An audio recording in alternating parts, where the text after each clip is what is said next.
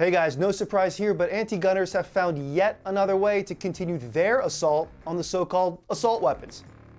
Hey, it's Phil with the Minuteman Moment, and today we're going to talk about a sneaky anti-gun bill that some people want to pass through the Senate. Congressman Don Beyer introduced a bill in the House, H.R. 8051, that would impose a 1,000% federal tax on a lot of semi automatic rifles, pistols, and shotguns, and every magazine that holds more than 10 rounds. And at a time when Americans are getting crushed by Biden's economy, a 1,000% tax on the sale of guns would essentially be a backdoor ban on commonly owned firearms and magazines. And make no mistake, this tax is not intended to cut the deficit or support spending in other categories. This is an attack on the American people's wallets and rights. And in this recession economy, an inability to consistently rely on a police response, this bill would either leave families starving or defenseless, a situation nobody wants. This is the kind of ivory tower thinking, telling families living paycheck to paycheck that they aren't wealthy enough to deserve the right to defend themselves. And with this price increase, putting a common rifle like an AR 15 at 10 times its original cost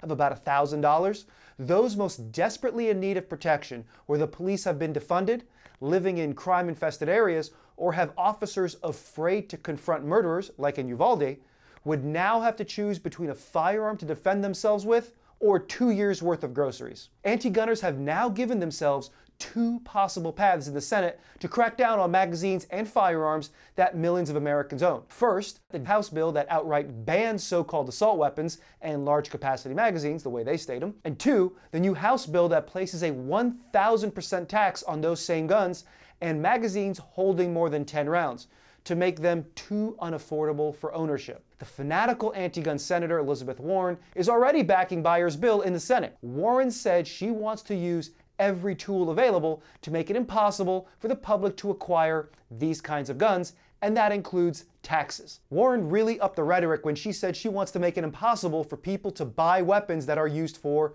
murdering people. Can't every weapon pretty much be used for murdering people? Can't a lot of things that aren't typically considered weapons?